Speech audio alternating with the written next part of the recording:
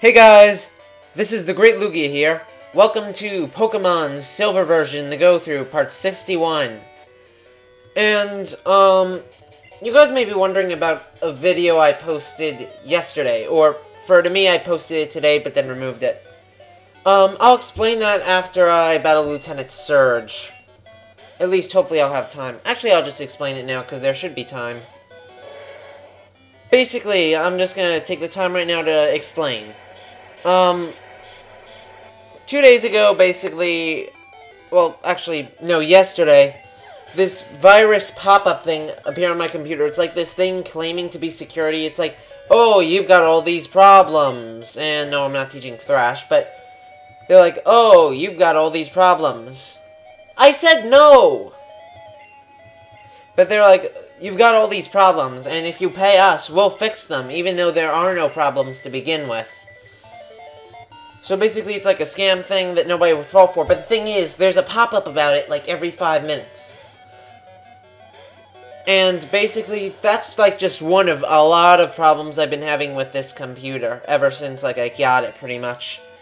For example, on when I'm on the internet, if I should close, like, an extra window on it or something, it'll automatically freeze. And there's a lot of times where it just freezes for, like, five minutes at random. And there's other times where I have to shut the internet and start it all over again. So this is all really annoying, and then there's um, one or two other things I forget. Oh yeah, there's also the fact that this computer has low memory, and due to that, I have to delete old videos fairly often to make room for new ones. And basically, I was just tired of it, like I was sick of it, especially with that pop-up thing, so I was talking with like my mom and stuff, and basically, we figured like I'd get a new laptop and it would basically have a lot better memory. It would have a better, like, antivirus sort of thing. Because right now I have AVG, which sucks. I mean, it's really bad. And basically, uh, and what the video I posted was about was saying how I'd wait until I get my new computer to start uploading again. And I'm just going to take the time to say this. Basically, I'd wait for my computer to start uploading again. Or uh, for my new computer to come. Which would take a few weeks. And that basically I had... Um... On a flash drive, I have, like, my save file from this game. An actual ROM, VBA, all the stuff I need. But then, um, earlier today, like an hour or two ago, a friend informed me that if you transfer a save file to another game, it'll automatically reset itself. So, now I don't think that would work. And I'd have to spend an extra few weeks, an extra week or two to replay the entire game. And in addition to that, I'd have to wait a few weeks for the new computer to even come. So uh, it would be like a month with no new videos. And I figured that because Kanto isn't too, too long, or doesn't take too much time, I should finish possibly by the time the new computer comes. Or if it doesn't, then I'll just finish Silver. And then once I start my go-through after this, I'll start doing it on my new computer. I'm not 100% about getting the new computer yet, because my... This computer is still playable, but I usable, but it's really annoying. So basically, all I'm going to say is for now, I'm just going to keep doing videos. You don't need to know anything else. Basically, here's Lieutenant Surge, and he has one of the coolest gym themes ever. And the awesome thing is, even after this battle ends, we'll get to hear it seven more times. Not, yeah, seven more times. And Tauros is just sweeping everything with Earthquake because it's so awesome.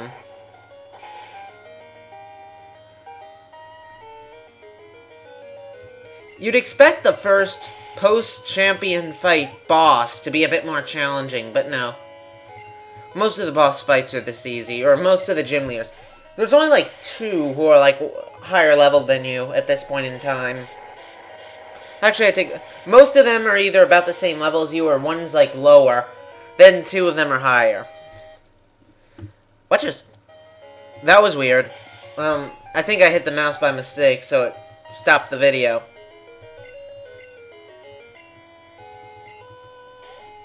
That definitely wasn't my computer, thankfully. Alright, earthquake one more time. I don't even need to heal up at the Pokemon Center because, like, no, all the Pokemon in this gym got 1 and KO'd. So yeah, he's pretty easy to beat, especially if you have a ground type with Earthquake, and even if not, like, just a regular Pokemon that's decently leveled and has good moves should be able to do pretty well. Unfortunately, the Kanto gym leaders don't give you TMs, which is a bit annoying, but whatever.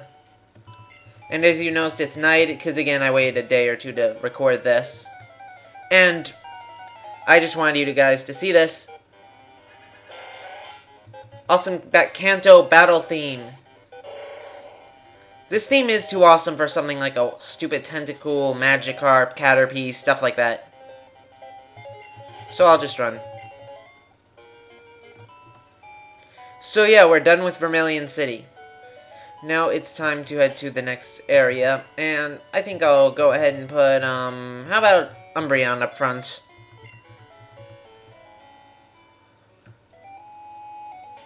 Also get used to this battle theme, because aside from like one or two routes, this this route theme is in every single route of Kanto. Also, you can't go through either underground path, because they're both blocked off in this game. And here we are in Saffron City. There are three things of note here. Here's the first one. Actually, four things. Basically, like in the original games, this guy will give you TM29, which is Psychic. Pretty much the best Psychic move in the game. Too bad they couldn't have come up with a more original move title, though. And I'm just looking for it. Okay, here we go. And now it is time for something cool. Oh, I could have seen Umbreon having Psychic and possibly Lapras, but no. I'm going to give it to the Pokemon that gets stabbed from it. Lugia. I'm to delete Recover for this.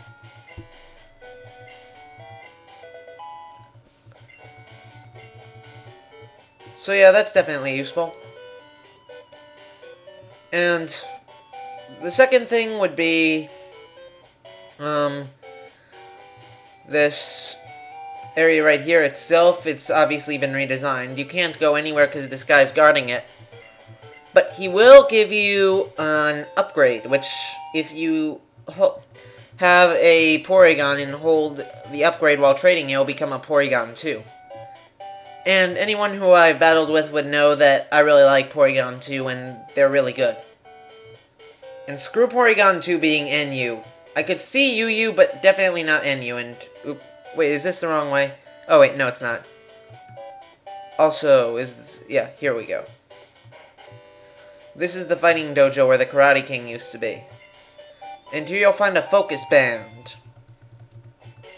Which isn't really useful for me at all. And yeah, here is the gym. And for some reason it says gym twice.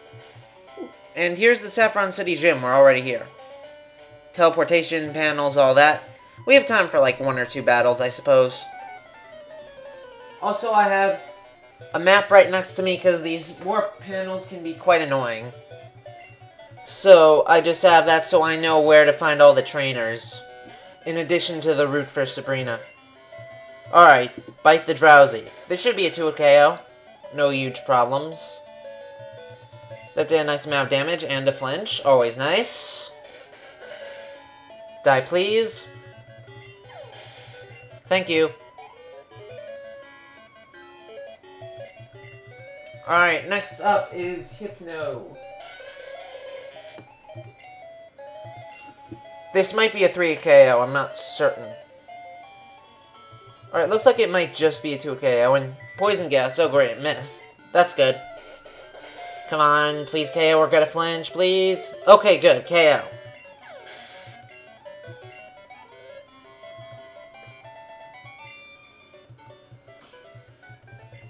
Alright, let's see. Which way to go next? If you're hearing something, that's the map. Hmm, what way to go? Alright. I see. We'll have time for this trainer. I know I'm using a guide, but that way I can get more battles in. Psychic power is the power of your soul! This guy only has one Pokemon, so he'll have time for him. And it's a Kadabra. Kadabra! Since Shadow Ball's physical, plus considering Kadabra have a lot worse special def physical defense and Umbreon has slightly higher attack, yep, win a KO. Very nice work, Umbreon. Alright, that is the last trainer for this episode. Next time, we will battle Sabrina, hopefully. See you then!